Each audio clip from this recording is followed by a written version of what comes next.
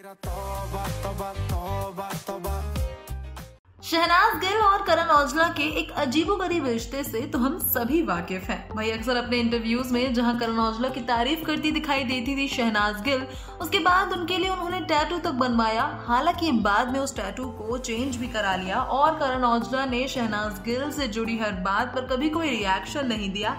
लेकिन अब इसके अलावा ये दोनों जा पहुँचे हैं अनंत अंबानी और राधिका मर्चेंट के संगीत सेरेमनी में। इन दोनों को वहाँ पर देखा गया। इनफैक्ट कुछ ऐसा हुआ जिसके लिए शायद ही फैंस ने कभी भी सोचा हो। भी शहनाज गिल यहाँ पर करण औजला के नए गाने पर ग्रूव करती दिखाई दी हैं विकी कौशल के साथ। विकी कौशल के साथ तौबा तौबा सॉन्ग पर ठुमके लगाती दिखाई दी हैं। और इस वीडियो को किसी और ने नहीं, बल्कि करण औजला ने अपने इंस्टाग्राम पर शेयर किया है। के अलावा करण औजला ने काफ़ी ज़्यादा हैरान कर देने वाला वीडियो अपने इंस्टाग्राम स्टोरी पर शेयर किया, जब उन्होंने खुद अपने साथ शहनाज गिल का वीडियो पोस्ट किया, जिसमें वो उसी गाने पर डांस करते नज़र आ रहे हैं। काफ़ी छोटा सा वीडियो है, पर इंटरनेट पर इस वक्त शहनाज गिल के चर्चे बढ़ गए हैं।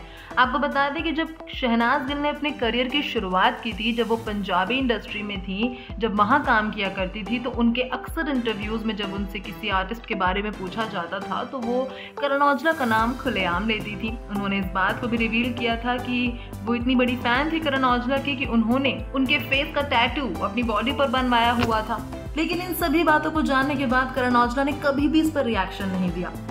और उसके बाद शहनाज गिल भी इन सभी बातों को इग्नोर करती और इन पर ध्यान न देती, दिखाई देती थी। लेकिन अब इन दोनों को साथ में देखकर फैंस की एक्साइटमेंट बढ़ गई है और एक बार फिर से पंजाब की कटरीना कैफ के साथ विकी कौशल ने ठुमके लगाए हैं। विकी कौशल और शहनाज जब जब एक साथ आते हैं तो भाई इंटरनेट पर ट्रेंड बन जाता है और आप देख सकते हैं अनंत अंबानी, राधिका मर्चेंट की शादी के साथ साथ एक और हैशटैग है जो इस वक्त ट्रेंड कर रहा है और वो किसी और का नहीं, बल्कि शहनाज गिल का है। करण औजला ने और भी कुछ फ़ोटो शेयर किए अपने इंस्टाग्राम स्टोरी में, जिसमें वो हार्दिक पांड्या के साथ नज़र आए और इतना ही नहीं, जब बादशाह और करण औजला परफॉर्म कर रहे थे तो वहाँ शहनाज गिल, विकी कौशल, बादशाह करण औजला के साथ डांस करती। इनफैक्ट करण औजला का गाना गाती दिखाई दी है। जी हाँ सही सुना आपने तौबा तौबा सॉन्ग उन्होंने भी गाया। फ़िलहाल वीडियोस इंटरनेट पर वायरल है, आप भी देखिए।